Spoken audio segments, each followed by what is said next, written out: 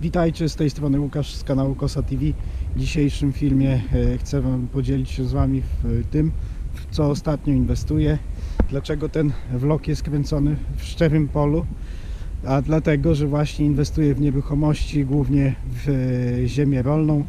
E, Niedawno też widzieliście na kanale, no nie da się zauważyć, też był, była inwestycja w nowy budynek inwentarski wraz z infrastrukturą. Nie jest to może duży budynek e, z tego względu, że w tym momencie, kiedy projektowałem ten budynek, przymierzałem się do budowy, nie wiedziałem, że trafi mi się tyle ziemi do kupienia, bo z żoną przez 4 lata małżeństwa udało nam się e, dokupić prawie 21 hektarów gruntów, także uważam, że to jest dosyć ciekawy, e, ciekawa rzecz. Nie, nie e, opuściliśmy rąk, nie przespaliśmy okresu, tylko które działki jakieś takie w miarę w możliwej cenie e, i w możliwej lokalizacji i jeżeli była możliwość finansowa, no to kupowaliśmy. Tutaj jesteśmy na ostatnio zakupionej działce. Ostatnio, no ona była w e, sierpniu, końcem sierpnia już e, akt notarialny e, spisany, lecz e, po prostu od połowy maja tak jakby ciągnęła się procedura zakupu tej działki. Ale może o tym troszeczkę później. Teraz przejdę do prezentacji działki. Najpierw pokażę Wam e, wcześniej co nagrywałem, jak, jak to wyglądało, gdy to zakupiłem i to co jest teraz.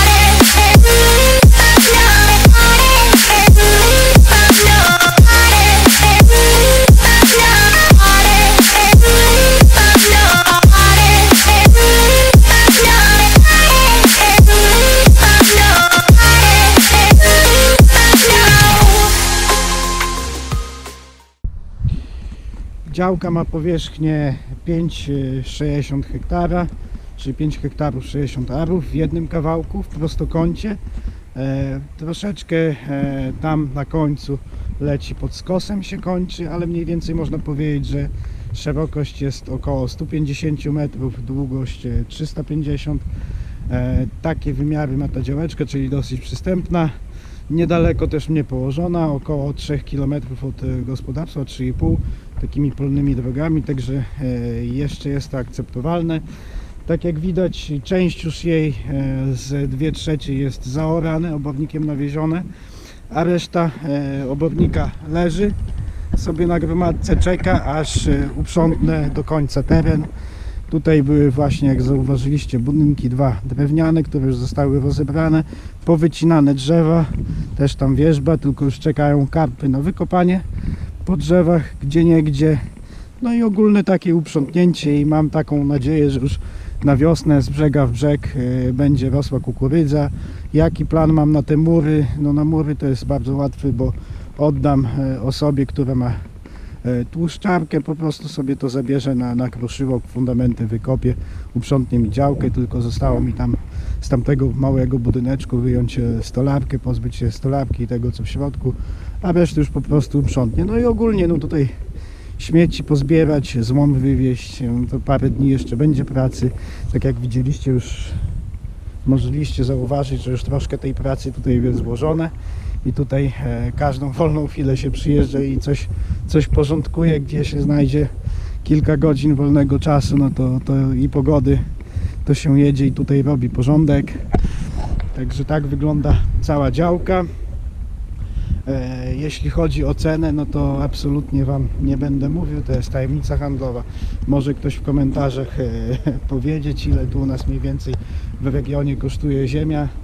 Jednakże ja uważam, że to jest cały czas jedna z najlepszych możliwych inwestycji właśnie z tego względu, że nie amortyzuje się ziemia, ba, wręcz nawet z roku na rok jej wartość się powiększa.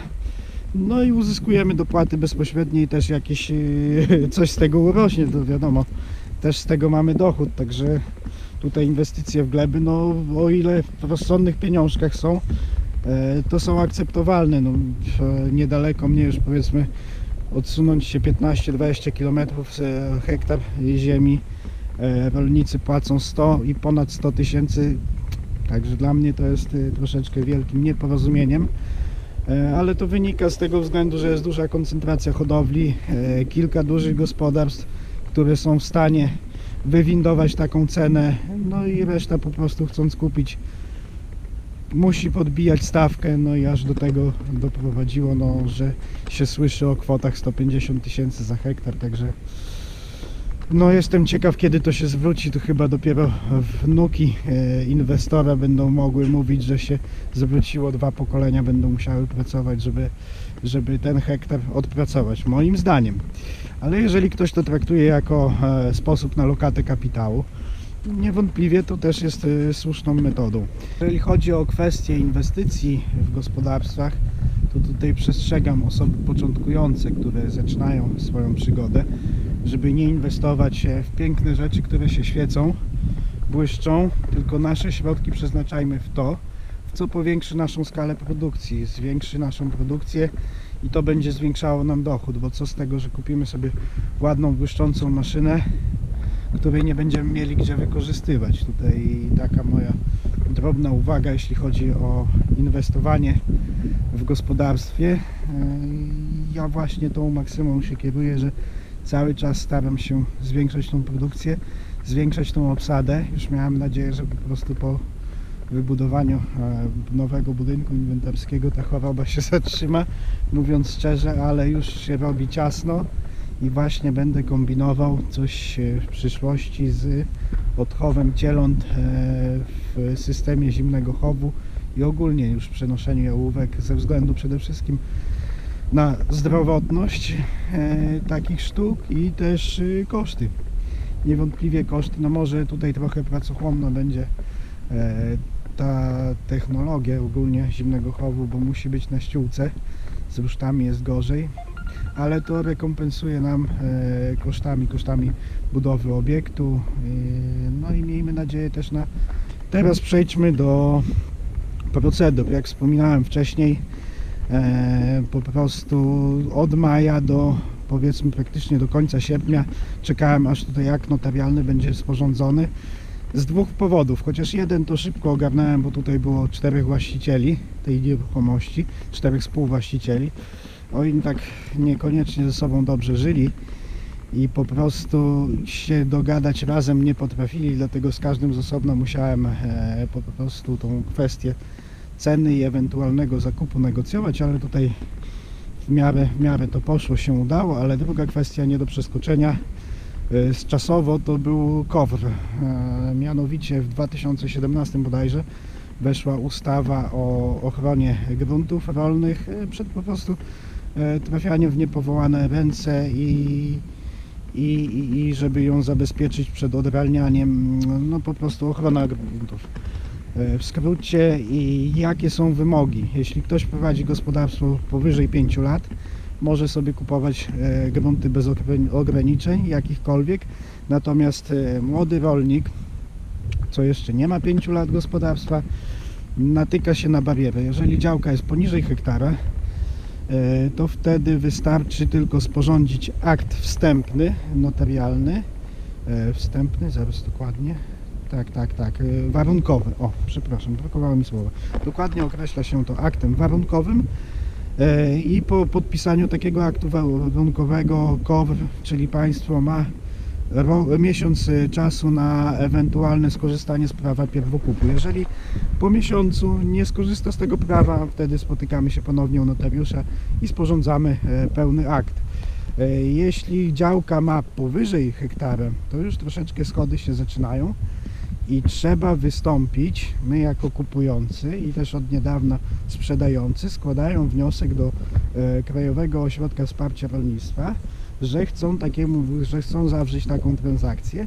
I KOWR ma na to, już nie pamiętam dokładnie czas, e, około miesiąca, żeby wydać decyzję, czy się zgadza na zakup, tak, na taką realizację takiej transakcji, czy też nie. E, Z doświadczenia wiem, że to trwa troszeczkę dłużej, trzeba się uzbroić na 2-3 miesiące, żeby wszystko formalnie, bo nawet jeżeli dostaniemy decyzję, to trzeba poczekać dwa tygodnie na jej uprawomocnienie, bo każdy ma, od każdej decyzji jest prawo odwołania, wniesienia w ciągu dwóch tygodni, E, bądź też e, wszyscy, którzy otrzymają taką decyzję, jadą z tą decyzją do, do Krajowego Ośrodka Wsparcia Rolnictwa, jeżeli zależy nam na czasie i składają oświadczenie, że zrzekają się e, wnosić odwołanie od tej decyzji i wtedy można to przyspieszyć. Tak to wygląda i dopiero jak już mamy taką decyzję, też możemy iść do notariusza e, i, i nabyć e, taką nieruchomość. Jak to się ma w praktyce? No w praktyce no już